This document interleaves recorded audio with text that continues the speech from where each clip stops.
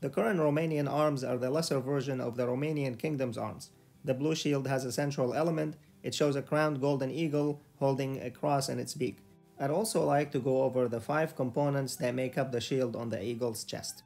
Romania as a nation was created to unite the Romanian-speaking people across the Carpathian Mountains. The main eagle comes from the arms of the Basarab dynasty, which is the same family that gave us the famous Vlad the Impaler. The Basarab house was formed in 1310 when Basarab I rebelled against Charles I of Hungary. He unified all the Romanian tribes and became Wallachia's first ruler. The eagle holds in its talons a mace and a scepter. Together they were symbols of Romania's monarchy and its power. Individually, however, the sword is supposed to symbolize Moldavia's ruler Stephen the Great, whereas the scepter is a reminder of Michael the Brave, the first unifier of Romanian countries. The crown on the eagle's head is the famous steel crown of Romania. King Carol I of the Romanians ordered it to be forged from the steel of a cannon captured by the Romanian army from the Ottomans, which was during the War of Independence. The king chose steel and not gold to symbolize the bravery of the Romanian soldiers. Moving to the inner shield and to understand its components, I'll show various historical maps of old principalities and kingdoms that made up Romania. The first two are what some people call the Danubian principalities, Wallachia and Moldavia. They emerged in the 14th century and alongside Transylvania they became the basis for the Kingdom of Romania. So in the first section we see Wallachia's coat of arms, an eagle holding in its beak a golden Orthodox cross accompanied by a golden sun and a golden new moon. These elements can be seen and traced back all the way to the medieval coins from Wallachia. Next we have Moldavia's traditional coat of arms. It shows an ancient aurochs's head with a star between its horns.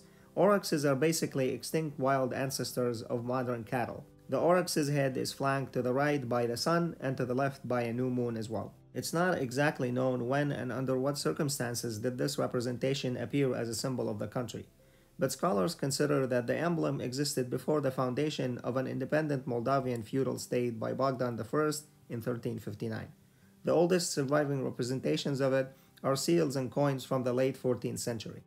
Moving down, we find Transylvania's coat of arms. The eagle stands for Transylvania proper, and the sun and crescent are old symbols from the region. The Seven Towers, however, have a more complicated origin story. The oldest and coolest one comes from the 14th century book of Knowledge of All Kingdoms, which calls Transylvania Septem Castra, which is Latin for seven fortresses. Other historians say that the Roman province of Dacia used the castle as their symbol.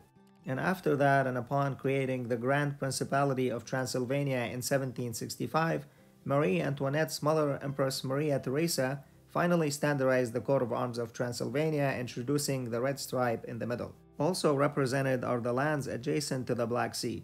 The historical province of Dobruja's coat of arms has two dolphins, and that's likely a symbol for the dolphins in the Black Sea. The fifth element on the shield is that of Oltenia and the Banat. Situated between the Danube, the southern Carpathians, and the Olt River, Oltenia's historical symbol was the lion, and when it merged with the Banat in 1918, they adopted Trajan's bridge under the lion. This bridge was a Roman segmental arch bridge, the first one to be built over the lower Danube by order of Emperor Trajan. Though it was only functional for 165 years, it is often considered to be the longest arch bridge in both total and span length for more than a thousand years. Historically speaking, though, the only time those symbols were absent was after the communists forced the king to abdicate.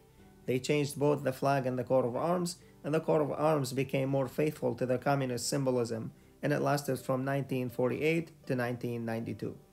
When the coat of arms was brought back in 1992, the eagle did not have a crown, and it wasn't until 2016 when we saw the steel crown make a comeback. This was to celebrate Romania's liberation and remind the people of the victory over the Turkish invaders. If you're looking to watch a similar video, you can check out this one or browse the playlist for more coats of arms.